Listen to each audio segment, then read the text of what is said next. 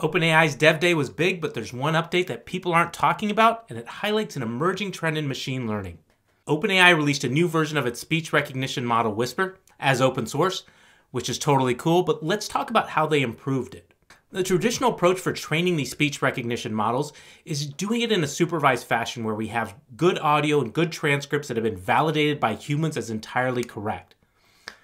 But there isn't that much of this data, maybe 5,000 hours of supervised datasets. Compare that to the millions of hours of unlabeled audio data. So what the first version of Whisper did was relax this gold standard of human validated datasets and instead used automated pipelines to help filter out and use some of that noisier data.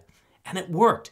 They used about 680,000 hours of noisily labeled data, more than like an order of magnitude of previous speech recognition models. Now, in the latest version, they expanded this up to a million hours of this weakly labeled data.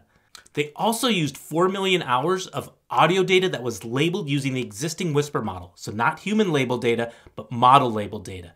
And this led to an improvement in the model compared to their previous version. And the lesson here is how when you have large amounts of data, even if it's not the highest quality, you can use that to improve the model. Now the question is, who has access to that much data?